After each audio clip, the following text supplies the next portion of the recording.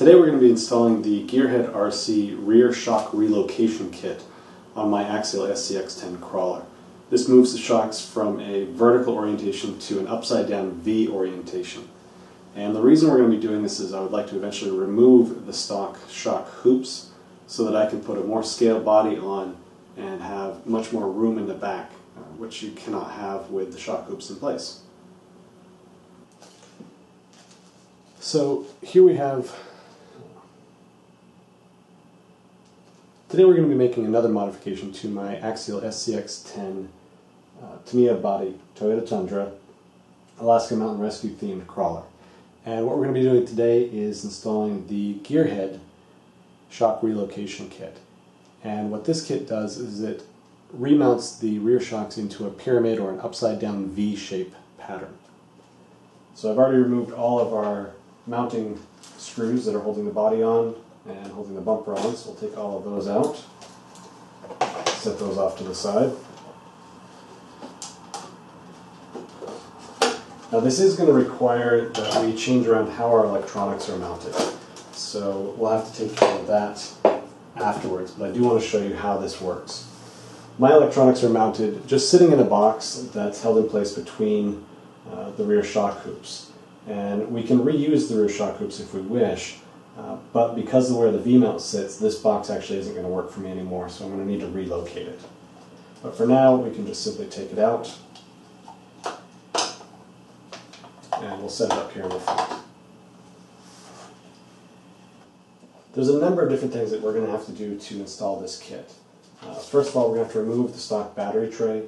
We're going to be removing the shocks from the front mounts, installing new braces here, and in our center brace that the shock hoops go through, we're going to actually have to drill two new holes. The first thing I'm going to do though is take off the wheels. This will give us better access to our rear shock lower mounting points. Now, the wheel nuts that I'm using are made by Rogue Elements, and they represent a scale hub. Um, if you're not familiar with Rogue Elements, they make one-off production pieces, and in order to get these pieces. You can't buy them on a website. You have to join the mailing list, and they will announce that they're going to be making a certain piece. So you pre-order yours, and those who pre-order get the item. After those items are sold, no more are made ever again. In some rare circumstances, they have made another run of the same item, but it does not happen very often.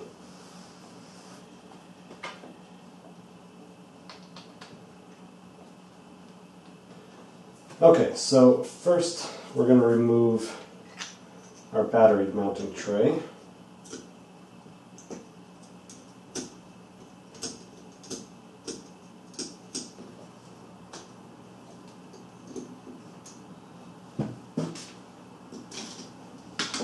Next we need to remove the rear bumper and both of the shock hoops. So in order to do that we need to remove both screws for the shock hoops.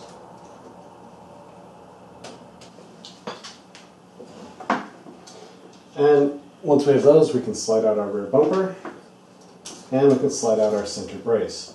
Now you'll notice the center brace actually has two holes almost pre-drilled here on each side. And those holes are used to hold on to our plastic chassis uh, servo mount. Now you notice that our stock X-brace here has two holes on one side. There and there. We're going to be drilling those holes all the way through and reusing them. If we look at the other side, there aren't any. It's just a channel all the way across.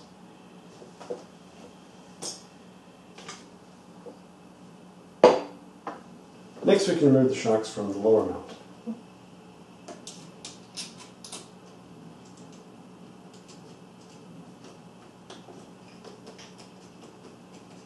Our kit comes with some very simple parts. The first is our upper shock mount. And then we have two lower shock mounts which are going to wrap over the top of the axle and down the back side. And a bag with some screws and some lock nuts on. The next thing we're going to want to do is remove the shocks from the stock axial shock hoops. So the next thing we're going to do is find some spacers that are the same width as our original bottom shock eyelets. Uh, you can use additional eyelets if you have any, or you can go ahead and find an aluminum spacer in your spares bin like I have. Uh, it doesn't really matter, you can use a stack of washers if you have to. We need to put those in so that we can keep our bottom links in their correct positions. We're going to put that back together now. Okay, now that we have our lower links remounted again, we've gone ahead and pre-assembled our upper mount by mounting the upper mount to the X-brace and mounting our upper screws, which is what's going to hang the upper links for the shocks. We're going to slide that back into place here. And we've also gone ahead and pre-assembled our lower link or our lower shock mounts. Now we're going to mount our lower brackets to the rear axle. Now the lower shock mounts from Gearhead RC actually have two sets of holes on them. And depending on which set of holes you use to mount the bracket to the axle depends on what shock angle you wind up having. So you can have a steeper or a shallower angle. As you can see I've mounted the rear wheels again and this is because we've already got our links mounted in the back and it just makes it a little bit easier having everything up. We can roll a little bit if we need to and at this point all we need to do is to lift our frame up and down to be able to get the right angles and, and put things in place with our shocks. So I'm going to take our first shock and put that on.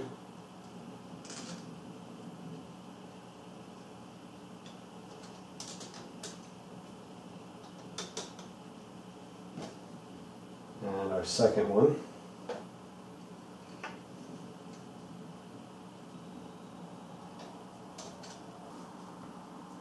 And there you have it. We've reinstalled the axial stock shock hoops for now. Uh, if you use these as your body mounting system, they can stay in place. It's not a problem. It's designed to do that. Uh, we have our upper mount with our shocks mounted, our lower mount with our shocks mounted, and our links with our spacers. As you can see, it sits a little bit high in the back, and that's because these are not the stock axial shocks. These are a shock that I got very cheaply from Hobby King, and they work well in the stock vertical position, but not so well in this angled position. But that's okay, because in our next video build of this truck, we're going to be replacing these with a more scale style looking shock, and that will resolve all of these problems. So now all the parts are in place, and as I mentioned, there are a few things that I have left to do. First, I need to change over to a different electronics box, a smaller one, as with the new upper brace, there isn't as much room as there was before.